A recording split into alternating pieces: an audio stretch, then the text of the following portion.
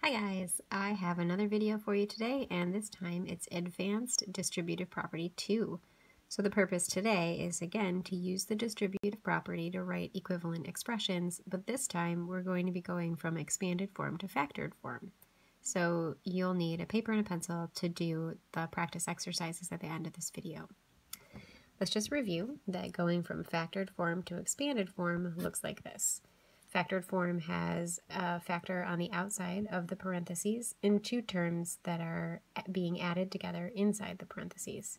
So you just distribute this factor that's on the outside to each of the terms that are inside the parentheses. So in this case, 8 times 2y becomes 16y, and 8 times 3 becomes 24, and this is in simplified form. Okay, so what if we have situations like the three here where they are in expanded form and you want to simplify them and um, rewrite them using the distributive property in factored form. So we'll talk about this one first. Um, the first thing you have to do is find the greatest common factor between these two terms. So in this case, 4 and 7 do not share any factors other than 1, but this is for a plus 7a, so they actually both share an a. So you can kind of think like a is the greatest common factor between the two. So we're going to think about this as reversing what we did up here. And instead of distributing, now we're going to be kind of pulling out. So we want to pull the a out of each of those terms. And that's going to be what ends up in front of the parentheses.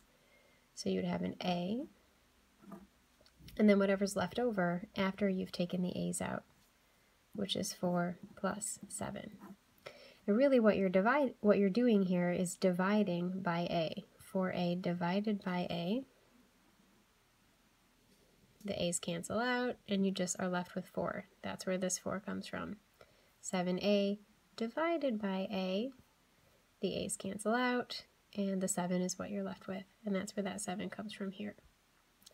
Okay, sometimes it's not a letter that is your greatest common factor, and so that might be in a case like this. We have 10b plus 12. Well, 10 and 12 both share the factor of 2. So we're going to use 2 as our greatest common factor. If you think about what we did over here, imagining that we were dividing both of the terms by a, on this problem, we'll be dividing both of the terms by 2, that greatest common factor that we identified. So uh, 2 is going to be what's outside of our parentheses. 10 divide 10b divided by 2 is 5b. And 12 divided by 2 is 6. So we have 2 times 5b plus 6. And remember, you can always double check this by just working backwards. What is 2 times 5b? 10b. What is 2 times 6? 12. Does that match what I had up here? Yes, it does. I'm good to go. Okay, uh, now down here I wanted to talk about what happens if you don't identify the greatest common factor, you just pick some other common factor. Um, so if we look at 14c and 28c, um, we can see that they both have uh, C in them, um, which was actually a mistake. Let's call this 28E and 14C. Okay, sorry about that. So um, we're going to think about, hmm, what could the greatest common factor be? Well, the greatest common factor here is 7, but we're going to pretend just for a second that you made a mistake or didn't realize that, and you're going to use 2 as your greatest common factor. Okay, so if you divide 14c by 2, remember the greatest common factor is what goes outside the parentheses. 14c divided by 2 is going to give you 7c.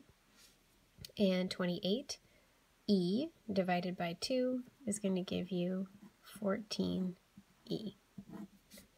So hopefully you will look at what's left inside these parentheses and say, wait a second, 7 and 14 um, have another factor in common. So that's an indicator that you didn't actually find the greatest common factor up here. So you could sort of simplify again and say that 7c and 14 share a common factor of 7. So I'm going to take the 7 out of both of these. And now I have 2 times the 7 that I'm taking out here um, from both of those. So my outside number would be 14. 7c divided by 7 is just c. And 14e divided by 7 is 2e. So really, in simplest terms, 14 times c plus 2e would be as simple as, as it goes. Um, and we can look at what that would have been like over here if I had identified the greatest common factor as 7 right to begin with. Oh, sorry, as 14 right to begin with. So I could have said, oh, 14 is my greatest common factor. I'm going to put that outside the parentheses. 14c divided by 14 is just 1c. 28e divided by 14 would be 2e. And so I do end up with the same um, expression in either case. Just took me an extra step to get it over here because I didn't have the greatest common factor right away. So I want you to try these four practice problems on your own.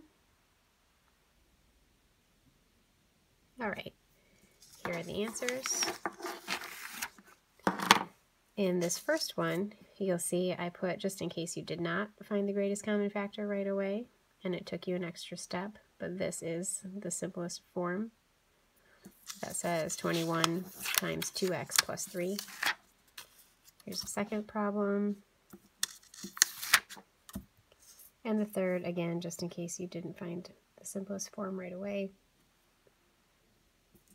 And finally, the last one here.